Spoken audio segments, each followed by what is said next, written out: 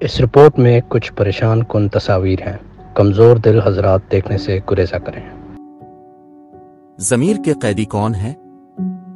ضمیر کے قیدی وہ افراد ہوتے ہیں جنہیں ان کے سیاسی، مذہبی آدیگر ایمانداری سے رکھے گئے عقائد کے پرامن اظہار آئین کی شناخت کی وجہ سے قید کیا جاتا ہے۔ حالانکہ انہوں نے نہ تو تشدد کا استعمال کیا اور نہ ہی اس کی ترغیب دی۔ شہری اور سیاسی حقوق کے بین الاقوامی معاہدے کے مطابق تمام افراد عدالتوں اور ٹربیونلز کے سامنے برابر ہوں گے اپنے خلاف کسی بھی مجرمانہ الزام کے تعین میں۔ قانون کے ایک مقدمے میں، اپنے حقوق اور ذمہ داریوں کے تعین میں، ہر شخص قانون کے ذریعے قائم کردہ ایک قابل، آزاد اور غیر جانبدار ٹریبونل کے ذریعے منصفانہ اور عوامی سماعت کا حقدار ہوگا۔ یہ بات انتہائی تشویشناک ہے کہ پاکستانی فوج نے عام شہریوں کے خلاف فوجی قوانین کے تحت ممکنہ طور پر فوجی عدالتوں میں مقدمہ چلانے کا ارادہ ظاہر کیا ہے۔ فوجی عدالتوں میں شہریوں کا مقدمہ چلانا بین الاقوامی قوانین کے منافی ہے۔ Amnesty International Human Rights Watch کے مطابق فوجی عدالتوں میں عام شہریوں کا مقدمہ چلانا انسانی حقوق کے بین الاقوامی قانون کے تحت پاکستان کی ذمہ داریوں کی خلاف ورزی ہے۔ پاکستان میں فوجی عدالتیں آزاد عدالتیں نہیں ہیں اور یہ خصوصی عدالتیں ہیں جو کہ خالصتنا مسلح افواج کے اندر نظم و ضبط برقرار رکھنے کے لیے بنائی گئی۔ ہے ایمنسٹی انٹرنیشنل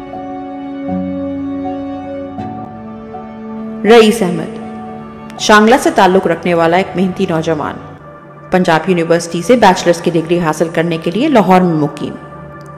ایک درد مند دل کا مالک، رئیس احمد، انسانیت کی خدمت کی خاطر ڈاکٹر بننا چاہتا تھا۔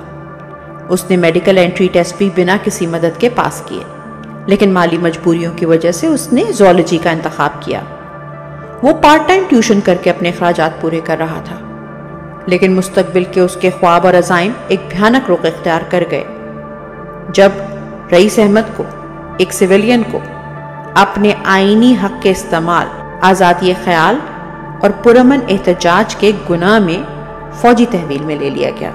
رئیس احمد اپنے ضمیر کا قیدی ہے رئیس نو مئی دو ہزار تیئیس کو پاکستان کے رہنما عمران خان کے غیر قانونی اغوا کے بعد احتجاج کے لیے باہر نکلا اور اپنے سوشل میڈیا اکاؤنٹ پر پوسٹ کرتے ہوئے سب کو پرامن احتجاج کرنے کو کہا۔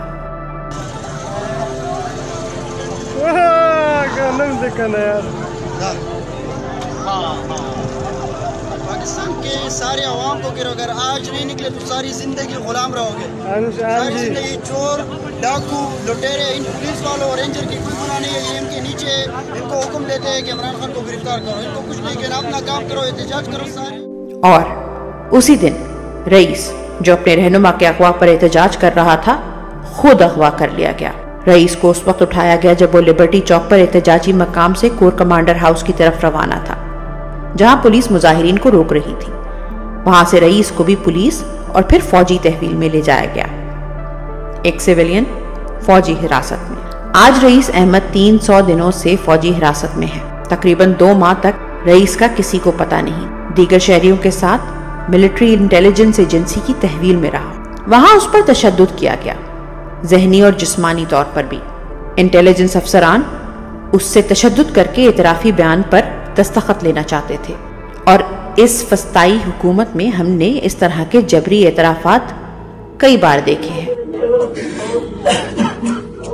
رئیس احمد، ایک نوجوان جس کا شوق محض کتابیں پڑھنا ہے، ایک درد مند دل جو دوسروں کی مدد کرنا پسند کرتا ہے۔ اس کو شدید تشدد کا نشانہ بنایا گیا۔ کیونکہ رئیس نے جھوٹی گواہی دینے سے انکار کر دیا تھا۔ اسے ایک تاریخ کمرے میں رکھا گیا، جس میں سورج کی روشنی نہیں تھی۔ اس کے سر پر ہڈ اور ہاتھ اس کی پیٹ کے پیچھے بندے ہوتے تھے۔ اسے سونے کی اجازت نہیں تھی۔ پیروں کے نیچے اسے لاٹھیوں سے مارا گیا اور بعض اوقات ربر کے کوڑے کمر پر مار کر تشدد کا نشانہ بنایا گیا۔ وہ اسے سینسری اوورلوڈ کے ذریعے بھی تشدد کا نشانہ بناتے۔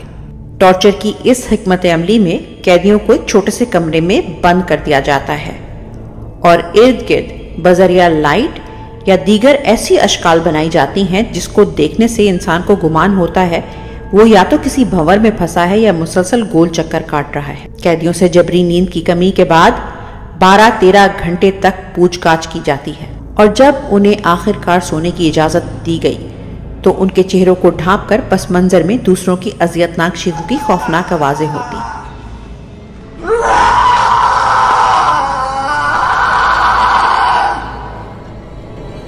قیدیوں کو ایک پوزیشن میں گھنٹوں کھڑا کیا جاتا۔ نہ صرف اسے بہت مارا پیٹا گیا، بلکہ اسے واٹر بورڈ بھی کیا گیا۔ تشدد کے یہ تمام طریقے بین الاقوامی قانون اور انسانی حقوق کے عالمی اعلامیہ کے تحت ممنوع ہیں۔ جس پر پاکستان بھی دستخط کنندہ ہے۔ بلاخر رئیس کی ہمت اس وقت جواب دے گئی جب انہوں نے اس کے ناخنوں کو اکھاڑنے کی کوشش کی۔ چنانچہ اس نے جھوٹی گواہی دے دی۔ بلاخر اسے جج کے سامنے پیش کیا گیا۔ اس کی جسمانی اور ذہنی حالات کا مشاہدہ کرتے ہوئے جج نے اس کی گواہی کو نامنظور کیا، جو کہ بعد میں دوسرے جج نے منظور کر دی۔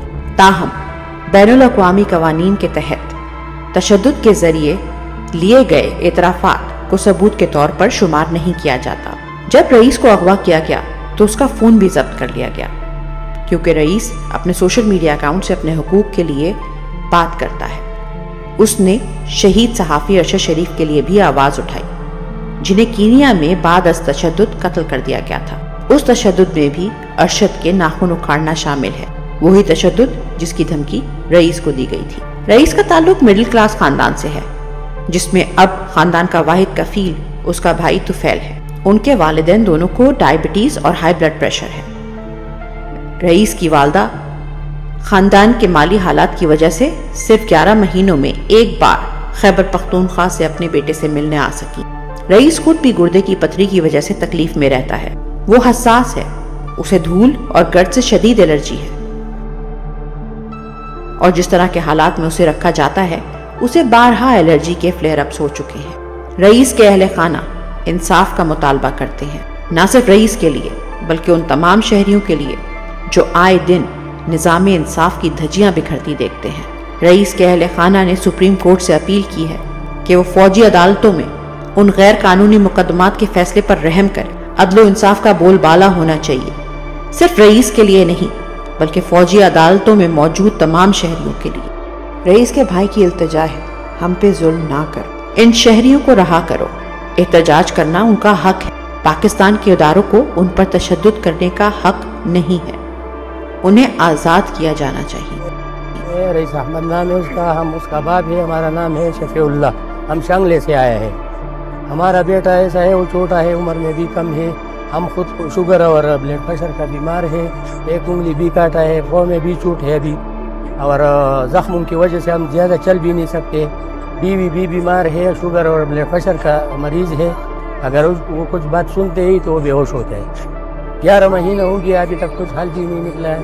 اگر اگر رمضان کا مہینہ ہے، اللہ کے واسطے یہ جو بات ہے، ہم غریب لوگوں کا، ہم جو ہے بہت پور فیملی والا لوگ ہیں۔